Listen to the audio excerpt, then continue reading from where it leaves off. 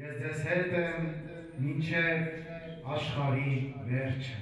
Մհեր Մկրտչյանի անվան թատրոնի բեմում ավետարանական առակները հայ դպրոցում համապետական մրցույթին լավագույնս ներկայացած դպրոցների աշակերտներն են։ 2014 թվականին իրականացված մրցույթն այս տարի յուրօրինակ շարունակություն ստացավ։ Մրցանակային անվանակարգերի արժանացած 4 դպրոցները լրացուցիչ աշխատելու եւ ներկայացման հանդես գալու հնարավորություն ունեցան։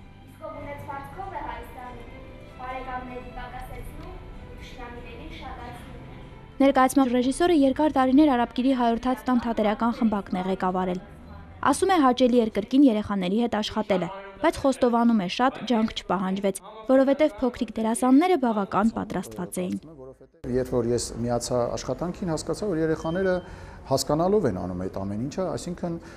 նախնական շատ լուրջ աշխատանք է տարվել մանկավարժների, հա, ուսուցիչների կողմից, նրանք հասկանալով են խաղում, ոչ թե, այսպես ասեմ, հա, եթե մի քիչ կոպիտ չընչի, տիկնիկների նման չեն անում ինչ որ ասվել է, նրանք ուղղակի գործ չի որ անում են։ Իրենք ուզում են սա անել եւ դրանից ելնելով է շատ անուշ, գեղեցիկ ձևով են այս ամեն ինչը ներկայացնում։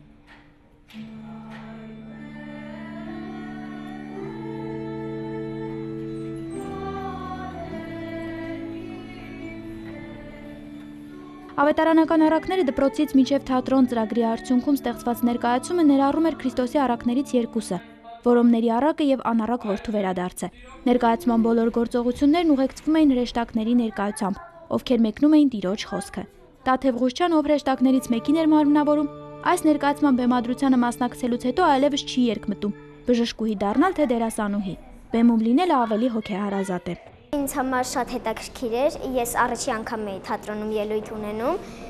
եւ ինձ զգացի ինչպես դերասան։ Ես մեծ բեմում ելույթ չէի ունեցել եւ այս ինձ համար երջանկություն էր։ Արտեմ Միկոյանի անվան թիվ 166 դպրոցը այս ծրագրին մասնակցած 800 դպրոցներից մեկն է։ Նախ անցել են ընտրական փուլը, որին 134 դպրոց է մասնակցել, հետո լավագույն 43 դպրոցների ցանկում են եղել, իսկ ամենավերջում լավագույն քառյակում։ Այս դպրոցի աշխատակազմն ու աշակերտները նախկինում էլ քրիստոնեական դաստիարակության կենտրոնի կազմակերպած միջոցառումներին են լավագույն մասնակիցների ցանկում եղել։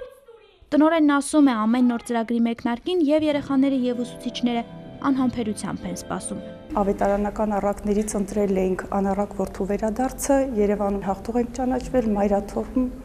արդեն արժանացանք լավագույն կատարում անվանակարգին։ Եվ երբ իմացանք, որ միջոցառումը պետք է շարունակություն ունենա, մեր ողջավորվածությունը կրկնապատկվեց եւ նորից մեծ ուժով երանդով ամբողջ կոլեկտիվով ներդրվեցինք այս աշխատանքին։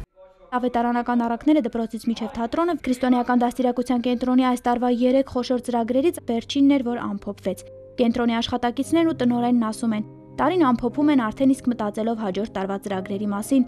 որոնք ինչպես նախկինում մեկ նպատակ են հետապնդելու՝ կերտել աշակերտների հոգևոր բարոյական նկարագիրը, որբիսի դպրոցից նրանք դուրս գան կյանքին պատրաստ։ Աստղիկ Հակոբյան, Վրամ Խանամիրյան, Եկեղեցական կյանք։